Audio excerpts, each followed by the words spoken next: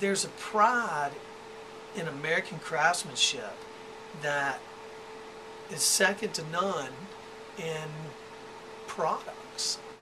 The way that America thinks about it, we have kind of lost that sense of pride because of our our society's become disposable. You know, most shoes are disposable. You wear them for a year, they wear out, you throw them away. People should think about quality. It's better to buy an American product that costs more, that will last five to ten times longer, than to buy a cheap product that won't. In the long term, you're saving money. You know, you've got to think long term instead of short term. You've got to think about the craftsmanship of it. And that's what people in America have kind of lost.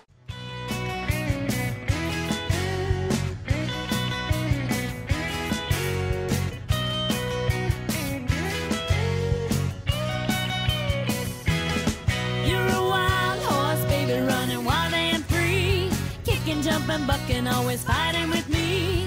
Say you need to be alone and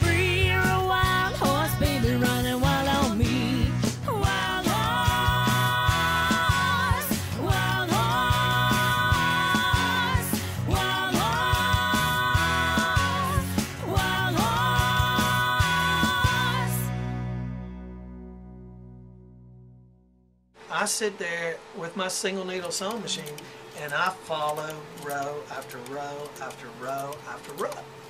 It's a lesson in patience. It's probably one of the hardest parts, really, of making a boot, but it's also one of the most satisfying, most visual satisfying is a pleasing design.